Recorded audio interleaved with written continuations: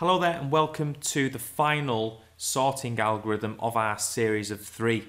This is the quick sort video and in this one what we're going to do is take you through how to run a recursive quick sort on some data in an array. So firstly, this part of the, the video is just set, getting us set up, getting an array of elements ready to go. So if you know how to do that, you can skip on a little bit. I've got three different uh, objects in here. I've got a button show array, which is btn show array. I've got btn quicksort over here and lst display. That's not number one, that's an L. So the first thing I'm going to do is I am going to just double click um, this form and use the load event. I think I'm going to create a global array. And there we go. And all of them are going to be integers. So we're going to do sort an array of integers. That's what we're going to have a go at. And in my load function, all I'm going to do is ask the user um, how many elements that they, they want. So I'm going to use a input box for that, I think. And inside here, I'm going to say, please input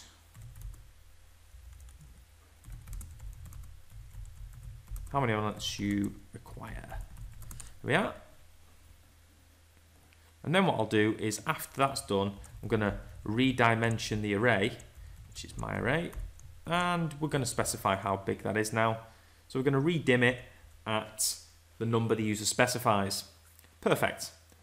Now the next couple of things I'm going to do is I am going to then populate the list box with some numbers and populate the array with numbers as well. So firstly I'm just going to make sure that it's clear. Now when we load the form the, the list should be clear anyway. I'm just being pedantic I suppose. And then I'm going to use the randomize if I can spell it randomize function. What that's going to do is going to shake up, sort of shuffle all the numbers ready for our random function to be used. And what I'll do is I'll use a for loop because it's a static preconditioned loop for i equals 0 to my array dot length. Now we're going to need to minus 1 there because our array starts at 0. I'm going to say my array at the position of i so starting at zero, moving all the way up to however long or large your array is, we're going to use math.floor. So that's a predefined function. What it does is it will round your numbers down. And RND is random, bracket, bracket, and we're going to multiply that by 100. So we should get numbers between 0 and 99. And then I'll just also, while that's happening, I'll add it to the list box at the same time. So lst items.add my array at the position of i. So take the element out of the array and just whack it into the list box. That displays it for us. Now, interestingly enough, what I'll do is I'll create a sub, call it display. So this is a procedure. And all I'm going to do, I'm going to take this, just adapt it slightly. So when we run the display, I want to clear the list box like that. And then I want us to not create random elements. I want us to populate with the current array. Okay. So I just made a little procedure there, just adapted some code that will actually, when I call display, it'll just show me what that looks like in the display itself. All right. Quickly test this, make sure that it does everything that we need it to. How many elements do you want? I'd like 10 elements, please. Click OK and I've got 1, 2, 3, 4, 5, 6, 7, 8, 9, 10, 11. Mmm, why do we have 11 elements? And the reason is because of this. I need to minus 1 from it because we're starting at 0. So let me just check that was the fix. These little bugs do creep in. I've got 10 elements in there and I've got 1, 2, 3, 4, 5, 6, 7, 8, 9 and 10. Perfect. Yep, problem solved. All right, now let's move on to the quick sort then. Now, the quick sort is slightly more tricky than the bubble sort and insertion sort. And the reason why is because it's recursive. And what does recur recursive mean? It means a function that calls itself within itself until a base case or a terminating condition is met. So it continually opens copies of itself until it reaches the terminating condition that will stop it. All right. So inside my quicksort, in order for it to be recursive, I'm going to write sub quicksort bracket bracket, and we're going to pass it in three parameters. Okay, the first one is the array itself. So you're going to pass in my array, if I get my syntax right, and that's going to be of type integer. Then going to pass in index low, which is the lower end of my array. So that's the element position, the index position, starting at zero in the low end, going up to index high in the upper end as an integer. Voila. Okay. So three, three parameters are passed in there, the entire array, the low end and the high end of the array. So when I call this, when I click the button, it's going to be quick sort. I'm going to pass in my array. I'm going to pass it in zero because that's the low end, isn't it? Up to the high end, which is my array dot length. And what I'm going to need is a minus one because don't forget we start from zero. So th three parameters, the array itself, low end, high end. Job done. Now inside the quicksort, we're going to need something called the pivot point, which is the element selected to compare everything to. We're going to need a temporary swap variable. We're going to need a temporary low variable. We're going to need a temporary high variable. And they are all of type integer. So four parameters in total. Now look what happens here. I'm going to set temp low to equal the position of index low. And I'm going to set temp high, so the temporary high variable to equal the same as the index high variable. And the reason why we do that is because we don't want to change these index lows and index highs. We need them to remain the same, but these temp low and temp highs, they're going to move continuously through the program. Then we've got the pivot. So what we do with the pivot point is we say my array at the position of index low plus index high divided by 2. And I'll just check that, make sure my, brackets are right, because that is that plus that one divided by that one. Yeah, I think that's right. If you don't get that right, BODMAS will come and get you. Is it three? Yeah, okay. So that one and that one are inside that one. The divided by 2 is inside that one. That one's for the array and that one's for the overall. Okay, fine. We'll test that later and it'll probably be, be wrong and it'll shout at me. Now then what we need to do is we need to encase this in a while loop.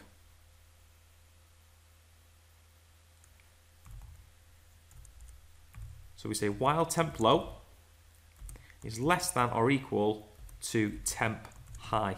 Okay, so think about that. While the low value is less than or equal to the high value, that means that the pointers on either sides of the array haven't touched yet. And that's good. So that means keep going.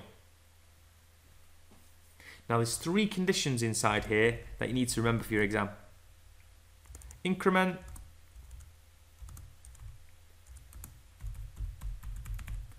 decrement, and swap. Okay? Three conditions that happen inside the quicksort. The first condition is when the element that we're looking at on the left hand side of the array is less than the pivot point. If the element on the left hand side of the pivot point is less than the pivot point, leave it there. You don't need to swap it. So what we're going to say is we're going to say while my array at the position of temp low, so while the array position or the, the element on the left hand side is less than the pivot point and temp low, the pointer itself, the integer pointer, is less than index high. So while it's still lower than the highest element, let's let's actually increment the pointer.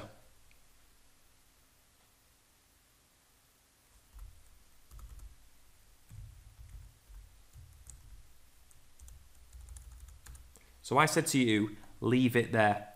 In order to leave it there, we just increment the pointer up one in the array and leave the number alone. Alternatively, if the pivot point itself is less than whatever's on the right hand side of the array,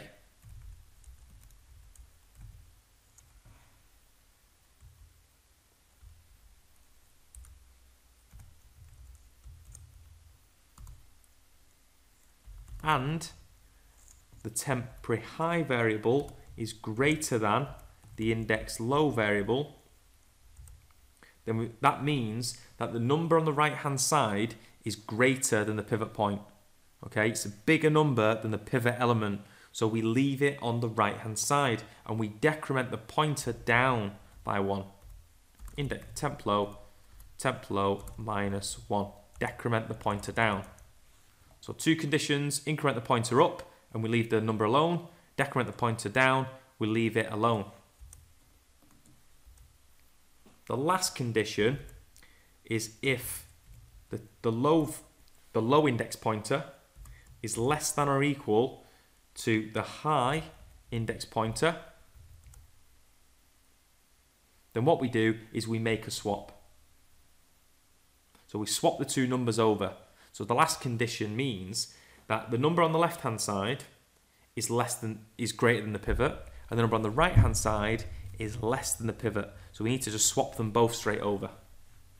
And to do this, we do something very similar to a bubble sort. So what we do is we copy in our number into the temporary swap variable from the low end.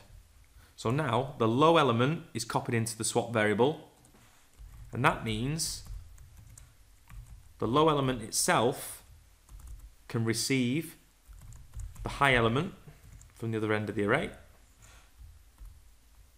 Then the high element that you've just copied into there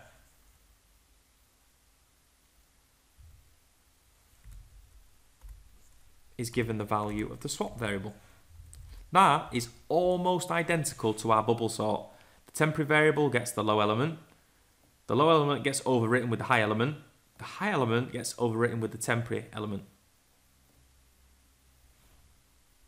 So that's our straight swap. And once you've made the straight swap, then you must increment and decrement the pointers, both of them this time. So the low element on the left hand side gets incremented by one. The high element on the right hand side gets decremented by one. And I know it must be extremely confusing. But you, what I would do is I would sit there with a whiteboard, a piece of paper. I'd have my elements in front of me. I'd have my array in front of me. I'd get my pencil on my whiteboard pen, and I would be, I would be writing these pointers above the array elements, and I would be moving them around based on the conditions. Because you cannot understand this, or I, I couldn't understand this until I visualized it, until I actually looked at it So once we've done those three conditions, the next bit is to do this. So I'm going to write this out first and then I'm going to explain it with a diagram because it is very difficult. It's a lot of information to take in. I'll say quick sort, pass it in, my array.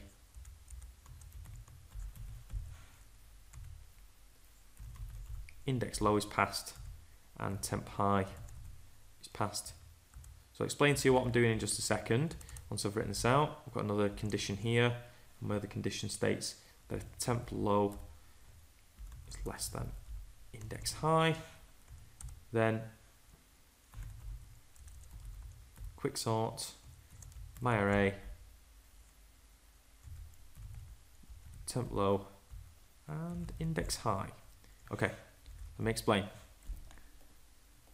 So two conditions there. Here is my pivot array.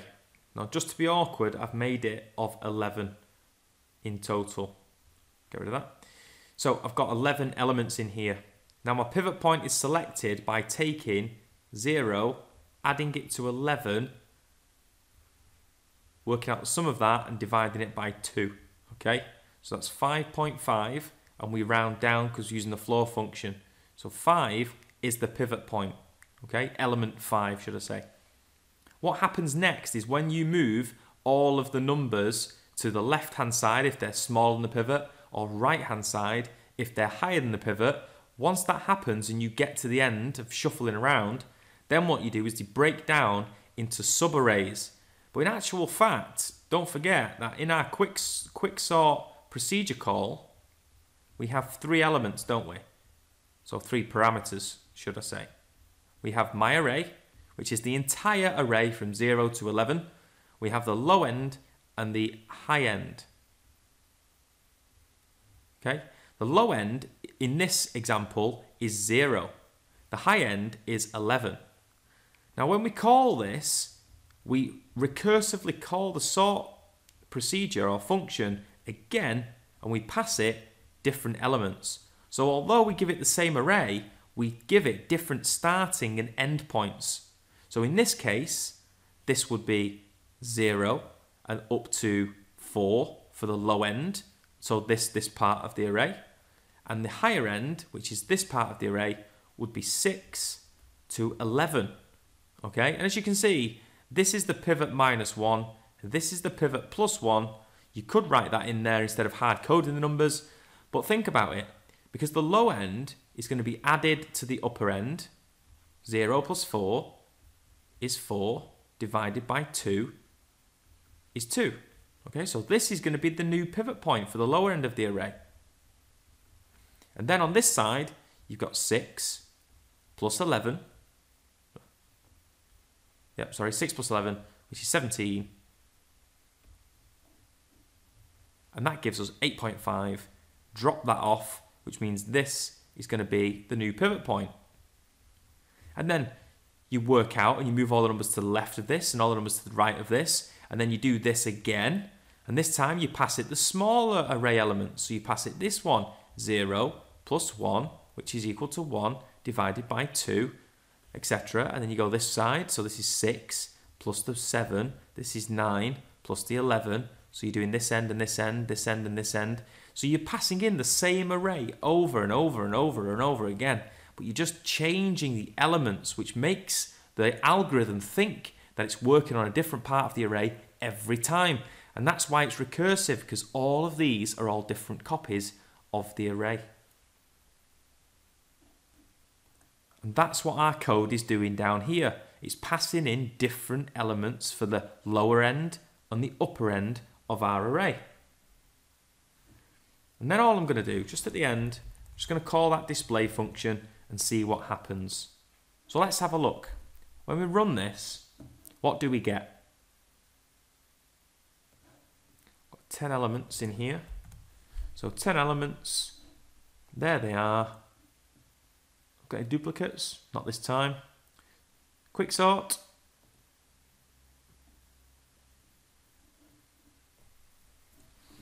And that didn't work. I've just broke my code. Um, I'm looking here. Oh, there we go. There's the error. To decrement, we go from the high points, not the low points. Rookie mistake.